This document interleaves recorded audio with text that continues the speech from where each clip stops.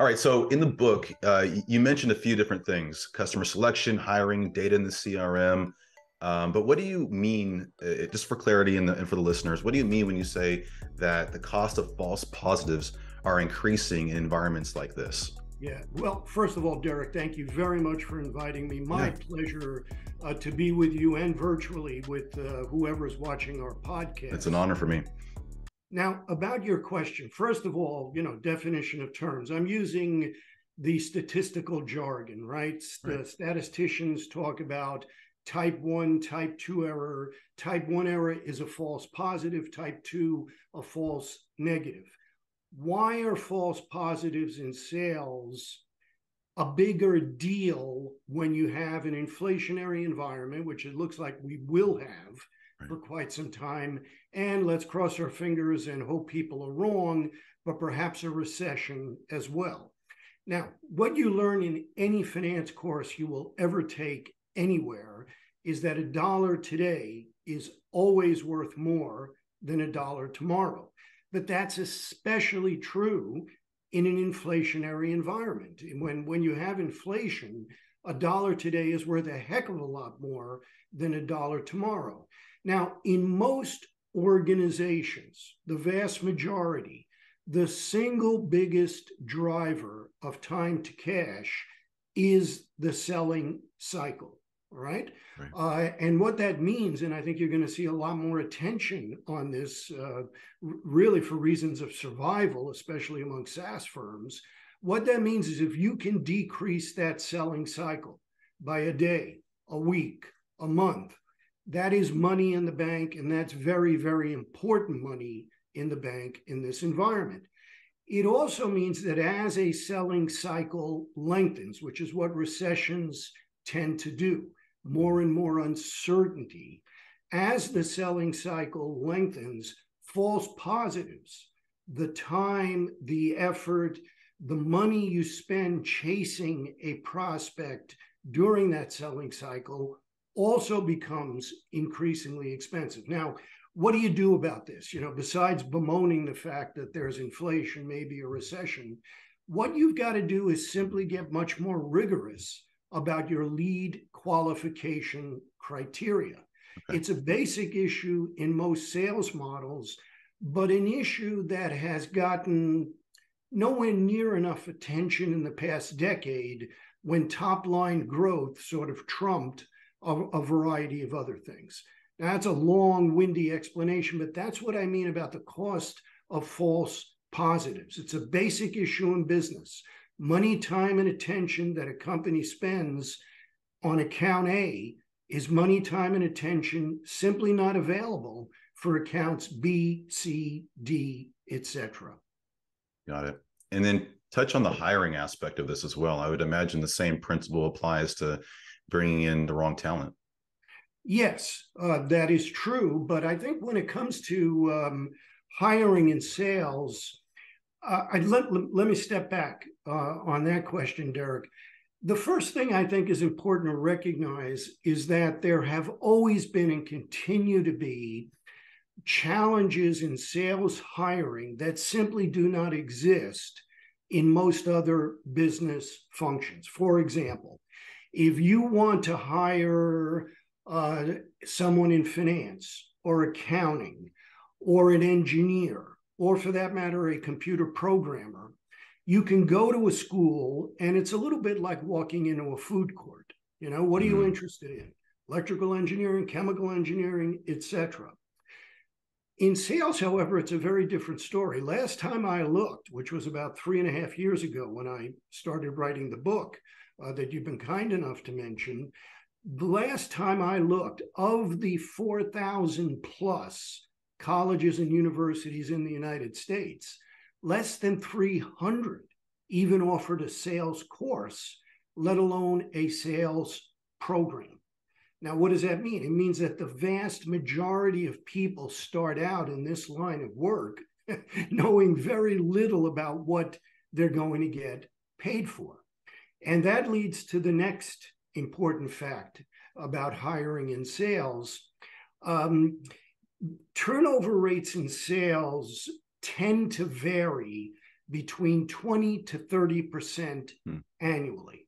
It's higher in strong economic conditions when talent has more options.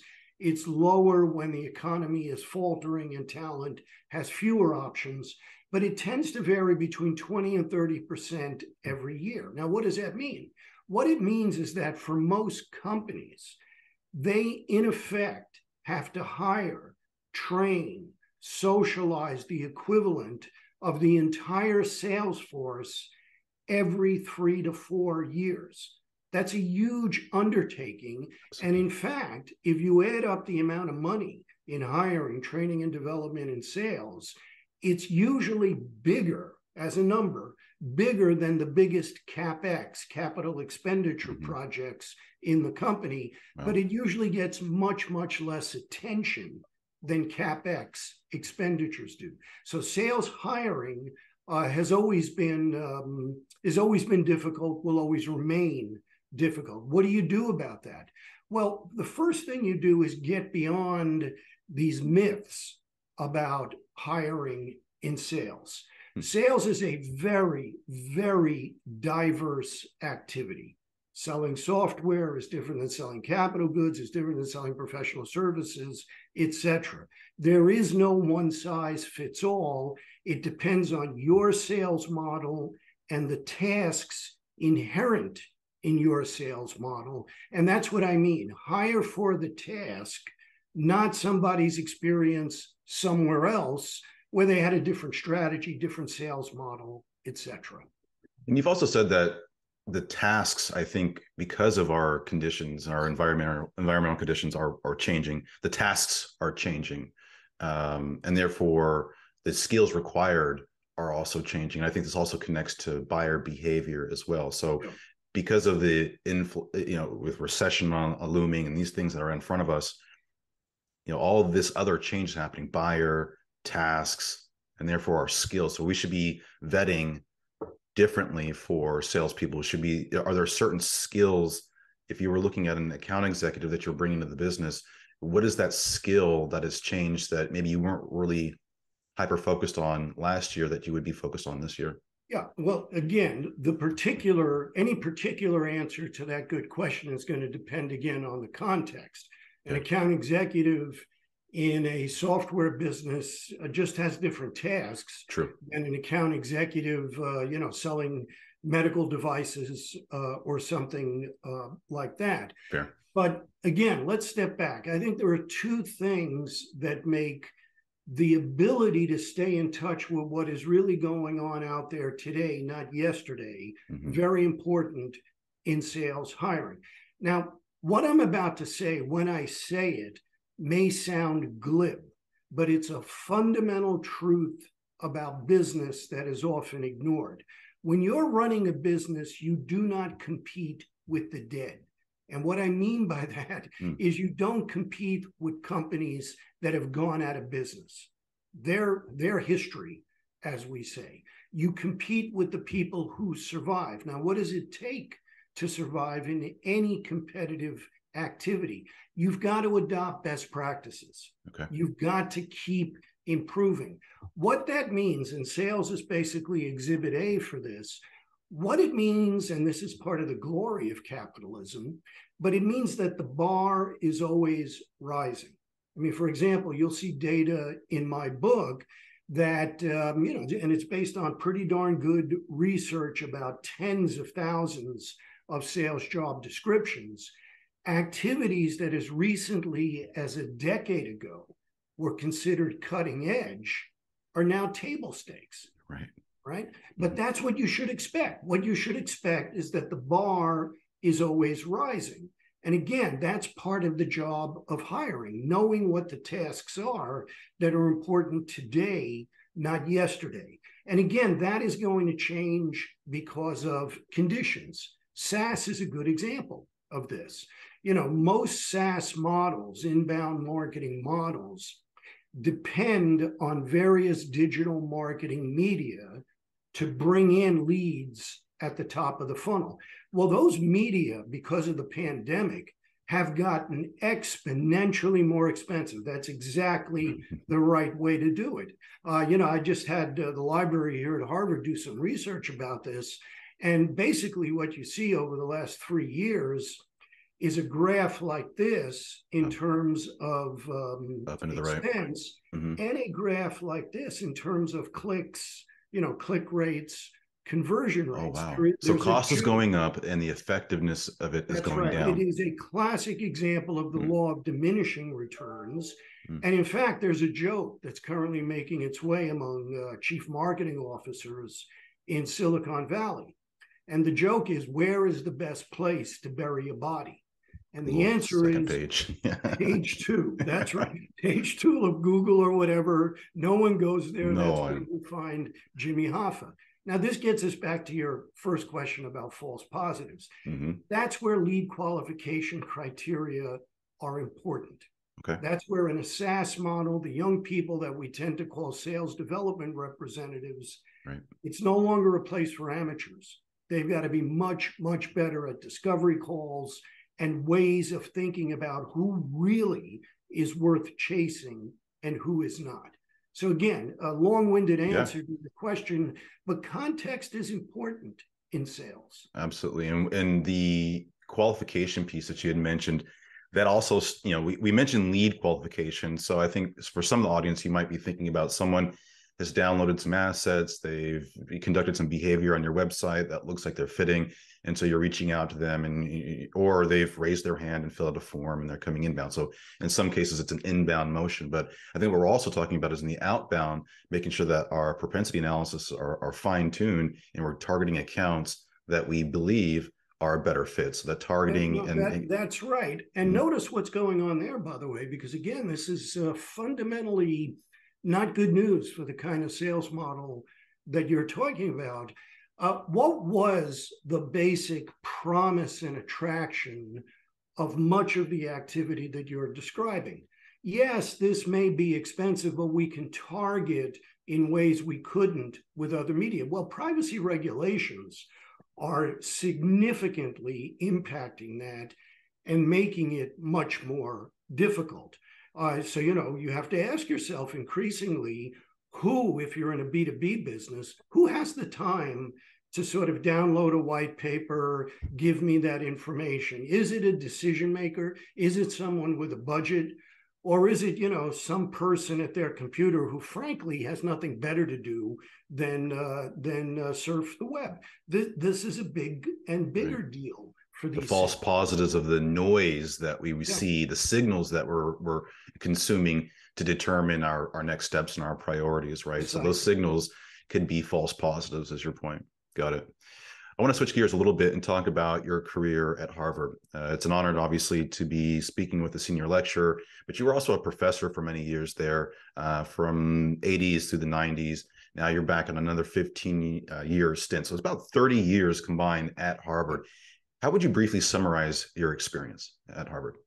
Well, I mean, you know, first of all, I don't consider my background particularly uh, exotic. You, you've you've summarized it well. I, you know, I was a professor, um, started in marketing, uh, made my way up the hierarchy. Then I left with some others. Uh, we started a business. I ran that business for a decade, and we got lucky.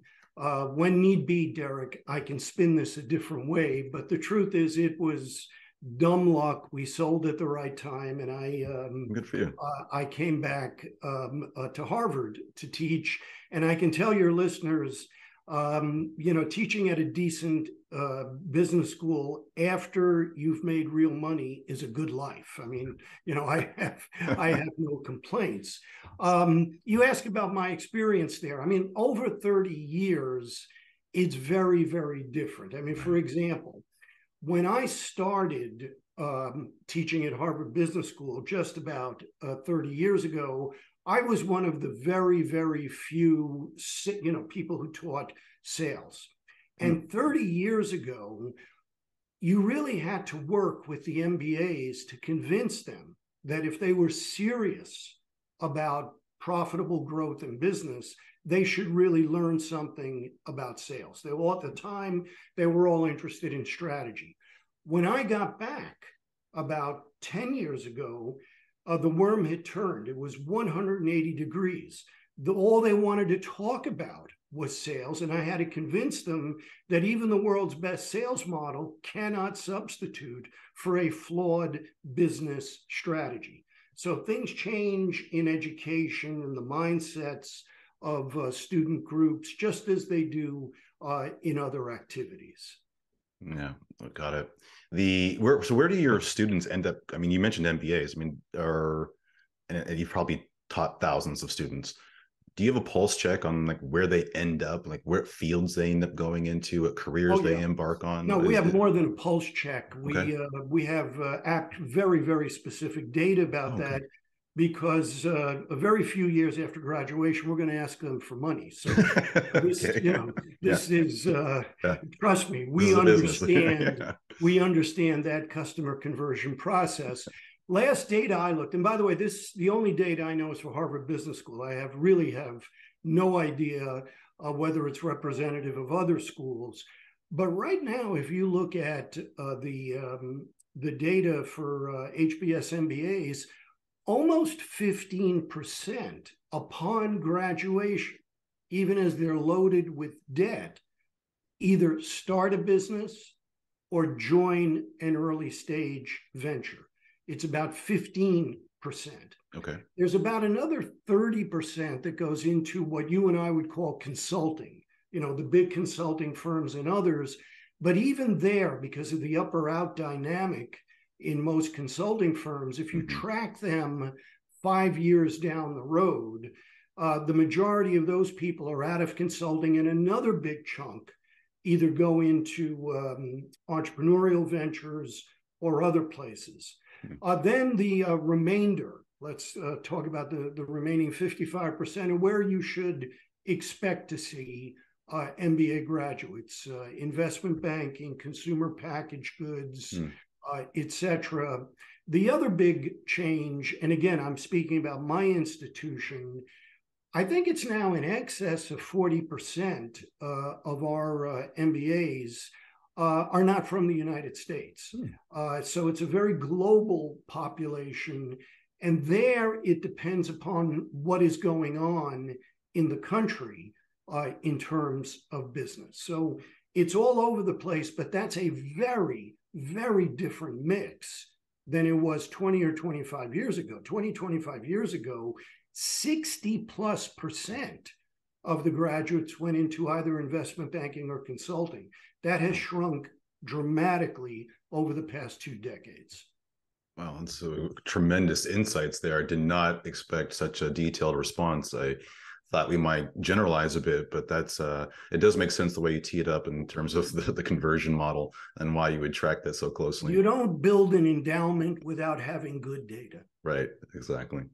So you've been focused on sales uh, management, sales practices, and the profession of it for a long time. And I'm curious though, can you quantify or maybe talk about the types of research or preparedness that goes into shaping your views and your lectures um, and your lessons you know what what has shaped this viewpoint as a lecturer in these areas that are important for for businesses to be aware of well i mean in my case and again i can only speak about myself uh, there's basically three major inputs uh, hmm. for um, the research i do about sales i ran a business for 11 years and when you run a business and you've got to meet payroll every month, it doesn't matter what your background is, you develop an appreciation for sales, selling, and the ability to close a deal and time to cash. So part of it is I draw on my 10, 11 years, and I was fortunate. It was a, a professional services business hmm. where um, we had a very, very good client list. So I saw a lot uh, across a variety of industries. Secondly, uh, at Harvard Business School, our core methodology, as everyone knows, is case studies. I've probably written as many cases as uh, most professors have.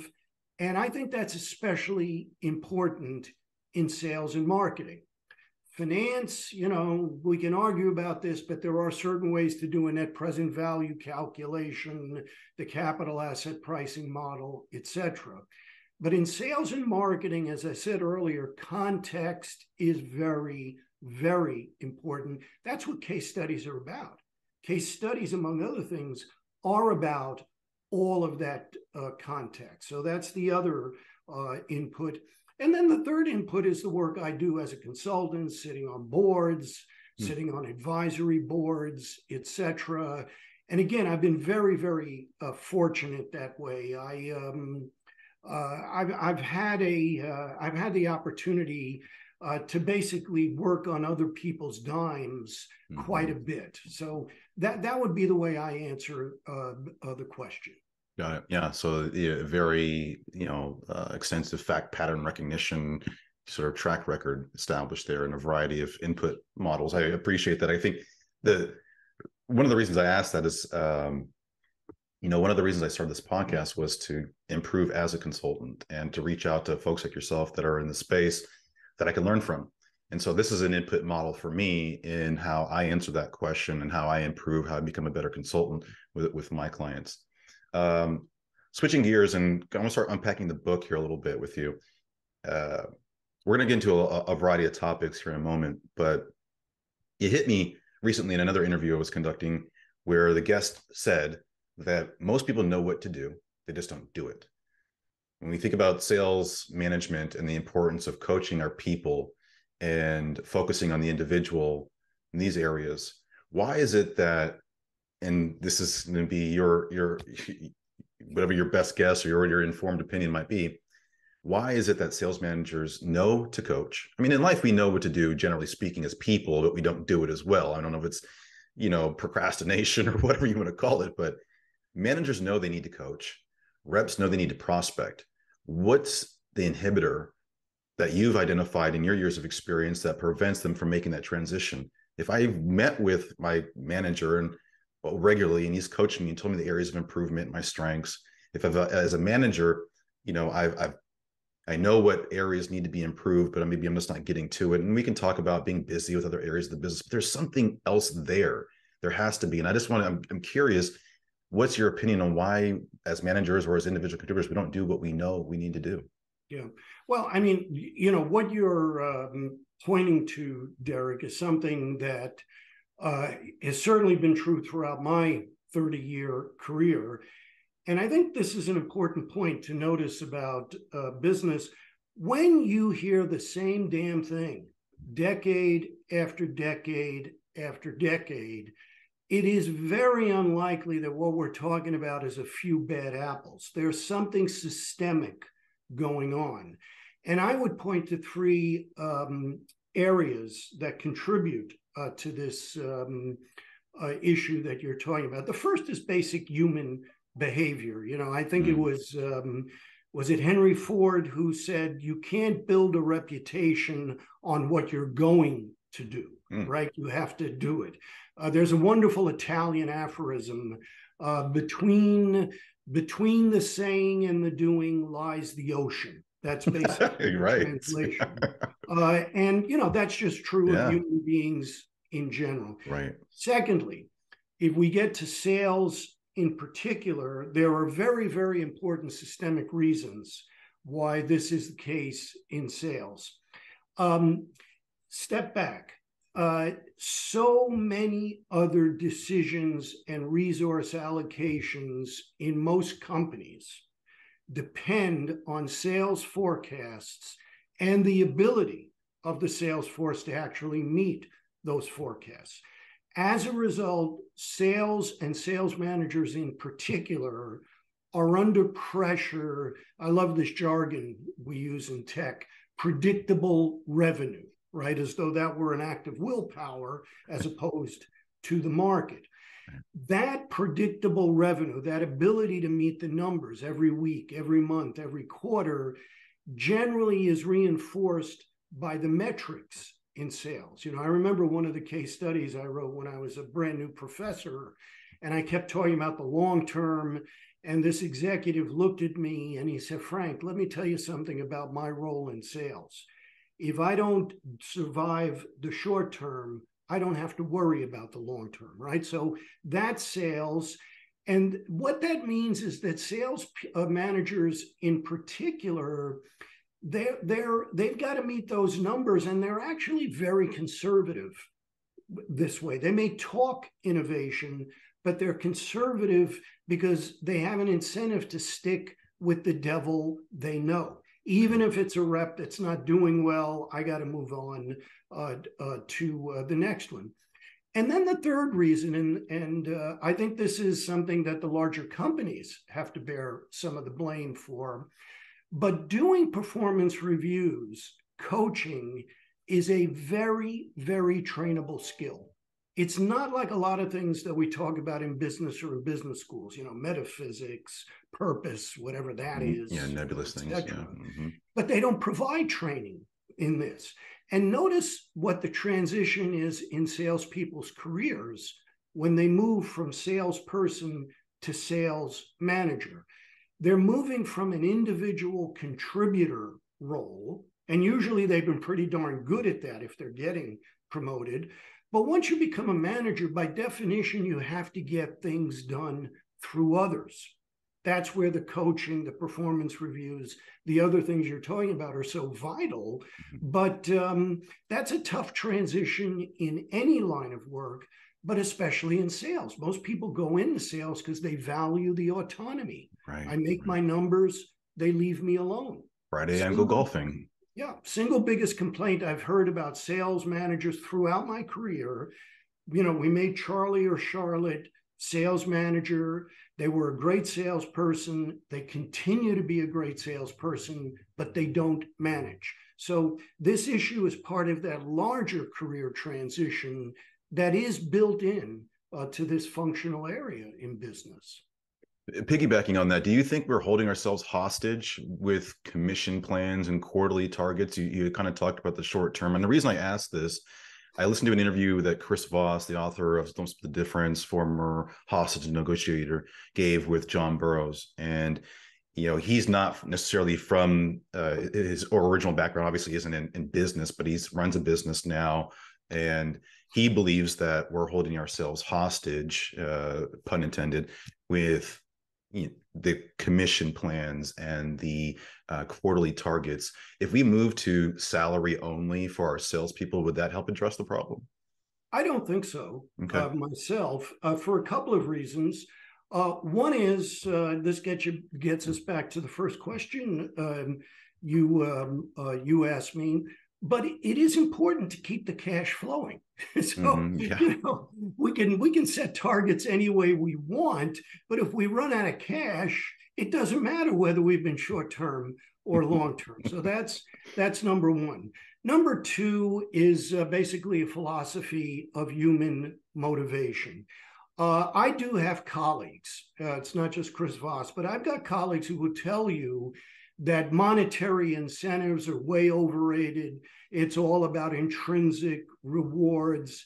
All I can say is that's not the planet I've lived on for over 50 years. Anyone who tells you that incentives don't affect behavior, I think, is basically living mentally in uh, in Disney World. But in sales, in particular, you've got to think about compensation as a necessary but not sufficient cause hmm. of getting the behaviors you want, which is why coaching, performance management, um, etc., is so important. And then when it comes to sales comp in particular, I would argue the bigger issue there is not uh, how we set the time frame. The market will ultimately set the time frame. I mean, we can pretend that we're setting a longer term time frame, but it's going to be determined by the market. I think the bigger issue is how sales comp works in most companies. Uh, and uh, the data about this has been remarkably consistent throughout uh, my career. If you ask yourself, how do you maximize your variable commission compensation? In 70 plus percent of sales forces, the answer is very simple just sell more. Yeah. And by the way, it's all about volume. End of paragraph, end of sentence. Not the profitability of that sale, not your company's cost to serve that customer, simply volume. Now, notice what the message is to the sales force.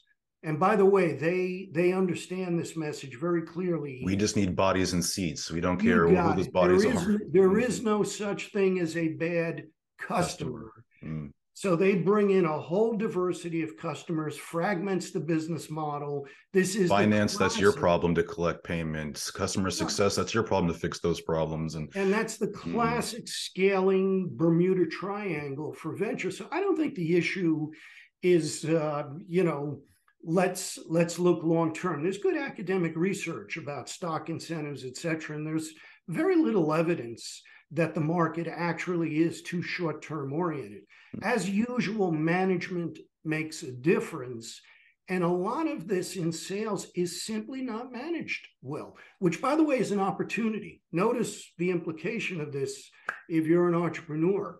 You'll be amazed how far you can get, how much competitive advantage there is in doing the basics a little bit better than the next company. So that that's the way I would see this. But I I disagree with this issue about let's just let's just think longer term. Right. Okay. Thank you. Switching gears uh, again back into the book, you can you break down the concepts of adaptive selling and active retrieval. These hit home for me. And I don't know, a light bulb went off when I read it in the book. And again, if you are listening to this podcast for maybe the first time, make sure you go out and get Sales Manager That Works by Frank Cespedes. This book I read last year really just changed a lot of paradigms for me and how I approach my practice and working with clients. So I'll finish the question here. You you mentioned adaptive selling and active retrieval. How might that influence how we manage and train our reps? Well, by adaptive selling, I'm simply using jargon that's been around for decades, but it it's jargon that points to the following reality in most sales organizations. During the course of a month, a week, in some in many companies during the course of a day, sales reps have to deal with a whole diversity of buyers, buying processes, buying criteria. And what good salespeople learn to do is adapt to those differences. Now, that's an important point to uh, point out because it, it shows us the limitations of training me- methodologies in sales. You know, notice training firms have a huge incentive to say our methodology will work with your company, that company, and with companies on Jupiter, Mars, and Venus but it's not true. Buying contexts differ, and good salespeople understand that. So that's what's meant by adaptive selling. Now, active retrieval is the terminology that learning theorists use for the way you learn from experience. And basically, uh, sales is a very, very good example of this. Over time, what good salespeople learn is where articulating the value proposition this way works, where it doesn't work. And again, to use the learning theorist jargon, in effect, they develop what they call scripts. Now, by scripts, they don't mean glib pitches, but they develop an, a repertory of experiences that tell them this kind of buyer, not that kind of buyer. Uh, that's that's essentially what active retrieval is about. Now, th- what do we do about that? You know, aside from saying, wow, aren't human beings interesting, complex, and adaptive? We do a couple of things. One is this is a fundamental fact about adult learning, but especially in sales. Adults tend to pay attention to information when and where they need it. And sales people in particular pay attention to information not weeks or months earlier or later in a training seminar, but on their way to making an important sales call or even during the sales conversation itself. Right, right. This is an area where the newer sales enablement technologies can really help. Okay. Because what those technologies allow good sales managers to do is disseminate best practice. Notice how this person responded to this objection. Notice how your colleague X dealt with this price issue and they increasingly the technology is available in the media that salespeople are most comfortable with their phone, the iPad, uh, etc. Um, that that is uh, what I mean by adaptive uh, selling and active retrieval. They're jargon for fundamental aspects of the way most reps manage their day.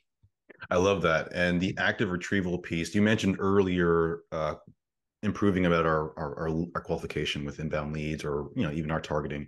So that qualification and what i go to in that is qualification frameworks qualification gating questions and these kinds of things and how do we get better at uncovering the fit or non-fit and the qualify in or out of this prospect so is that an example of active retrieval? If I'm in conversation with a prospect and I know that my, let's just say BANT, I know it's old school and it's been people give it a lot of, you know, uh, grief, but let's use as an example.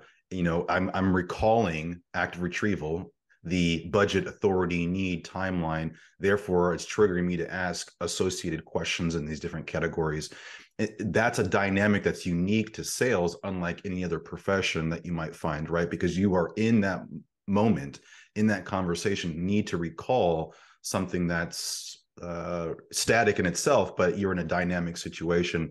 Uh, so the skill set of a person to be able to recall that framework is a skill set that we have to be able to facilitate. Is that right?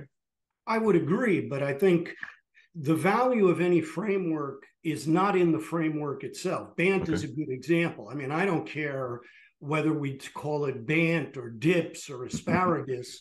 it is important in sales to know who's a decision maker, who has a budget, and who isn't, right? So, you know, the acronyms don't matter much. But all of the value is not in the framework itself. It's in how the individual executes the framework. In this instance, the questions they ask. And again, this is where management makes a difference. Sales is an area of business, much more so than almost any other business function, where the best in the group are not just a little bit better than the average, they're orders of magnitude better. There are such things as stars in most sales forces. Now, what do you want to do? A, you obviously want to keep those stars motivated, but B, you want to disseminate their best practice. Again, this is where the tech can help. The issue is not are we all trained in BANT or whatever. The issue is how do I execute it through questions? And what we know, what we know for a fact from research, is that most salespeople learn the most, not from a professor, not from a training consultant, but by watching the best of their peers do it. You know, Derrick, the way you, the, the questions you ask to get at that, that's clever. I'm going to use that next time. Again, this is where the tech makes that increasingly accessible and frankly less expensive mm-hmm. than bringing them all in for the training seminar for two days, you know, which has sort of been the norm for the previous century. So in in that example, uh, you mentioned the tech, uh, using tools that provide conversational intelligence and have calls that are recorded, and you know those that are maybe uh, in an onboarding library, right? So that as I'm coming onto the business, I can go into that library and the gongs of the world, right, and listen to it. The Showpads. Again, I, I don't get a commission for selling any of that, but these are these are tools that help in this basic area of professional development. And again, getting back to your earlier question, the you would you should expect this in any competitive activity. The bar is always rising. If right. you stay where you are, you're going to go out of business. You've right. got to get those people better and better. And inflation, recession, the layoffs that are now, you know, simply following the SaaS crash. I think all of that uh, makes this even more and more imperative and, you know, again, one of the things we should expect in business some people will figure it out and others won't. And the ones that do will be history. Right. And managers need to get out of the way in that respect, right? I think sometimes as leaders, and I've been guilty of this, thinking that I'm going to fix my reps. I'm going to help them improve. I take it on my shoulders as their coach and manager to get them better and fix them, if you will. I think in some cases we got to do better at the knowledge transfer and facilitating this peer-to-peer training mechanism. We have teach back presentations where we have reps come in and kind of lead uh, a session on something. But the technology that can facilitate this, I think at the core though, is it's, a, it's on sales management to facilitate that uh, that learning modality, right? I, I agree with that part uh, of what you said. I think that's exactly right. And I think you phrase it very well, Derrick, facilitating that modality where we know uh, uh, salespeople learn the most. The phrase, however, managers need to get out of the way, like most phrases of that sort, I think it depends on how one interprets that. Right. If the interpretation is yours, which is guess what? I'm pretty good. That's why I became a sales manager, but I don't know everything. And by the way, my real field experience was whatever it was, X years in the past, and the market has evolved. I would agree that's a good interpretation of get out of the way. But I think the way many sales managers interpret that is to downplay the importance of performance mm-hmm. reviews and account one-on-ones the, yeah. i think you said in the book that one of, one of the most important activities revenue generating activities that a manager could participate in is running effective one-on-ones with their people. Yeah and again trainable skill but talk to hr people. It is their constant complaint about sales managers. And i think again it's important to understand not only why that's important in terms of uh, human capital engagement etc but why it's also important in terms of a company's business model. The most important data relevant to selling is about the buyer who buys, why, and how. You know, I always say this to executives. It sounds obvious until, you know, uh, once you say it.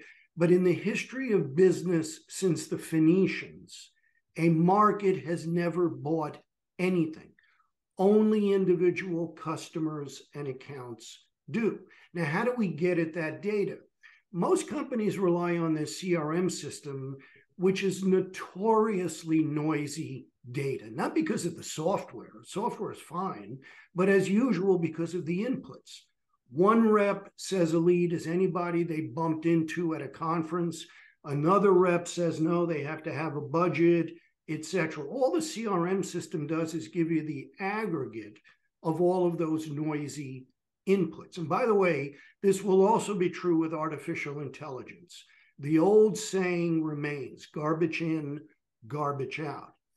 The really important data only becomes evident when you do a good performance and account review. So, managers, sales managers who don't do that well, are not only perpetuating a culture of underperformance, but they're inhibiting the flow of vital data in the organization. Mm. By the way, one of the uh, developments that's going on, and this is uh, because of the uh, data revolution in business, uh, increasingly this data flows up not to the CRO, the chief revenue officer, but it flows up to the data people who in many, many companies now report to finance. So, the, so you're talking about business intelligence uh, organizations right. that yeah. are looking at the Tableau instances and yeah. working through data warehousing to normalize these disparate tools and looking at the macro to understand what the the impressions of the business and those trends are. Yeah. Mm-hmm. And you know, once that happens, you know, as I'm sure you and others uh, listening to us have discovered, finance people are very, very annoying. They are annoying people. They can't help themselves. Once they get data, they start to ask questions. And the requirements for financial literacy in sales management are increasing tremendously. If you're if you're 40 years old or younger and you want to make a career in this area, my advice is don't go to the next seminar about selling. Make sure that you understand what I call managerial finance, not finance the way it's taught in business schools. That's Wall Street finance, but managerial finance, cash in, cash out, how to read a balance sheet, etc. What does drive cost to serve and return on capital in our business? Many sales managers are not very good at any of that once you get beyond top line volume Uh, but that that's a trend that's not going to go away. It's only going to increase, in my opinion. Fair. Last two questions for you, and I'll let you go. I've appreciated the time so far, so we'll we'll turn third and head home. The first question is about accountability. I've asked this of pretty much every guest that I've had on the show so far. Uh, do you feel, from your vantage point, that accountability might be under attack? Meaning, it's hard to have tough conversations with underperforming individuals for a lot of different reasons. Managers may not be fully prepared and trained on how to do that. You mentioned about the importance of running effective performance reviews and one-on-ones. Uh, the expectation of the employee, I think, is changing as well. Of the rep, right? The same way we have buyer behaviors that are changing, our the the behavior and expectations of our employees are changing with different generations coming into the organization. Uh, you know the the legality aspect of it. Hr business partners are doing a really good job of holding their frontline managers accountable to very empathetic approaches and making sure that you know we don't get in trouble as an organization but also making sure that we are living our our credo is there's all these different it's a myriad of things out there that make it hard for a frontline manager to have a tough conversation i believe from from my vantage point. I think what what i see often is leaders managers that kind of steer away from having the conversation in general. And therefore you know we kind of promote this idea of underperformance and mediocrity. I think you kind of touched on that earlier but do you think accountability in itself and having tough conversations around areas of improvement is is getting difficult more difficult do you feel as if the climate around us with mindfulness and these different uh, trends are making it increasingly difficult for a frontline manager to have that that tough conversation well, I mean, my answer is going to be yes and no, but okay. uh, I think it's important to unpack a number of things uh, inherent in your question. The way you're using the word accountability, Derrick, I think is hey, do we really pay attention to results, right, as opposed to um, uh, sentiments? I would argue that in sales, um, don't worry about that aspect of accountability in sales. Again, okay. I'll get back to that executive 30 years ago. Frank, if you don't survive the short term in sales, you don't have to worry about the long term. Now, there is a rhetoric issue, and I would agree we are in an inflationary period of rhetoric. But again, at the end of the day, business, unlike government, unlike a university, unlike a not for profit, business has a market test. That gets me to the second dimension of what you're saying. I think a lot of that rhetoric, especially where you are, you know, in fundamentally a tech yeah, sector, yeah. Mm-hmm. was driven by the um, the labor issues that were in place for much of the last decade. You want to get one of the best meals on the planet? don't go to the Four Seasons, go to Google's cafeteria, right? Facebook, that yeah. also generates a lot of the other rhetoric. Uh, you know, that changes when the labor markets change.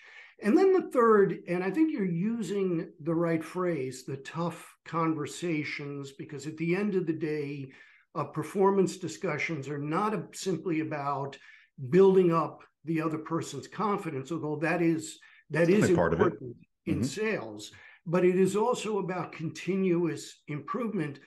My experience there, and I uh, uh, I would argue that this is always true. It is not tough to do that simply because of the rhetoric or because of quote the new generation. There's actually a good bit of research by a guy.